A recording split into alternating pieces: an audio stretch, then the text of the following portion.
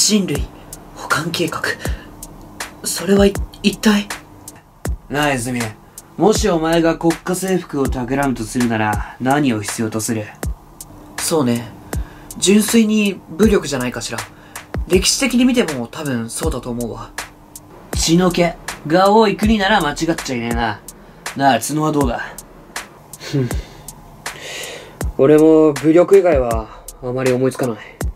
そうなんだよそこが盲点だったんだ。よ争いも起こさなくなったこの平和な国の最善の乗っ取り方。それはな上層部をハッキングしちまえばいいんだ。ということはすでに大統領は？ああ葬られた。もしくは敵対勢力が現れた時の人質として丁重に扱われてるかもしれねえなそんな、そんなことがあっていいのか。じゃ、仮にも今この国に存在している大統領は一体誰なんだ？そいつがエビフライ側の主犯格にして人類保管計画の発案者。このご時世にこんな言葉使うと思ってなかったけど最後の黒幕って感じか。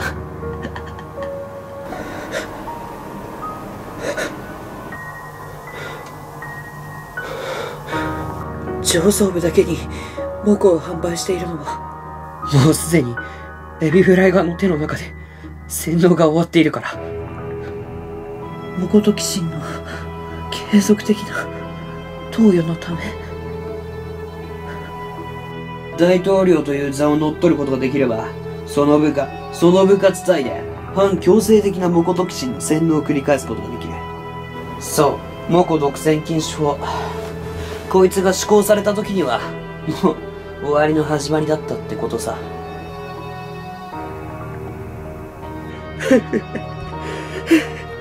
もう終わってたのか。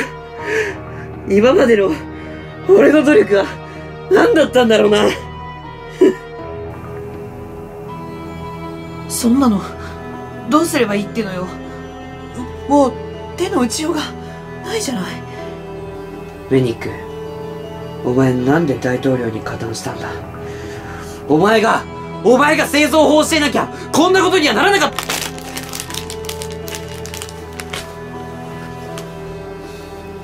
銃を突きつけられた時の恐怖ってお前は知ってるか？ははめられたんだよ俺もな。あのクソ大統領を棺桶にぶち込むためにここに来たんだ。もうそうするしか方法はないのね。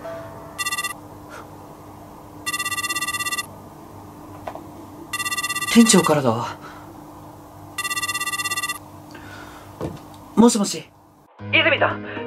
今エビフライ側の人間を一人捕獲しました。えそれ本当？今どこにいるの？今回のモコトキシンが取引されると予測された場所です。待て予測？そんなことがありえる。おい泉！今すぐそいつをその場所から離れさせろ！店長。店長？店長？店長？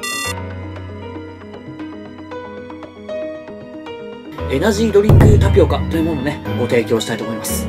はい、というわけで、早速このタピオ